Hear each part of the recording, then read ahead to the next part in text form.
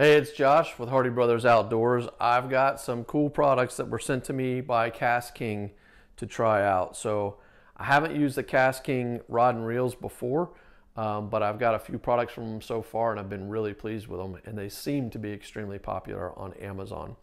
We're gonna get them outside and use them here in just a second, but let me talk about the, the, uh, the rod that they sent me with the reel.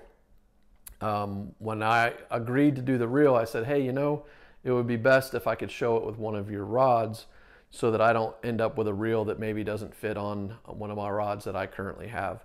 So they were kind enough to send me this, uh, I believe it's a seven foot, it's the KRD SPNZP 7M2. It's uh, got uh, fast action, handles line weight between 8 and 12 pounds. The power on it is medium and uh, lure weights uh, optimally between a quarter and 5 eighths ounce. So comes in two pieces and uh, is a, a, really nice, I like the color. I mean, this is obviously gonna stand out beyond anything else that I have. So it's also uh, from the Zephyr series.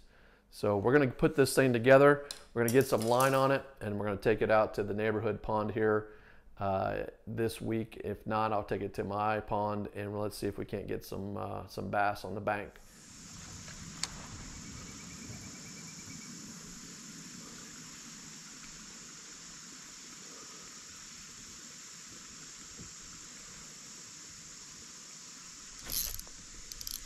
There we go.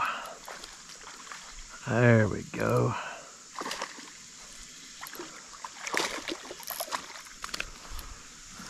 That's a little better.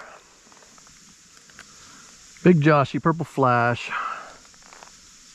KastKing Zephyr 3000 with the KastKing 77 Zephyr rod.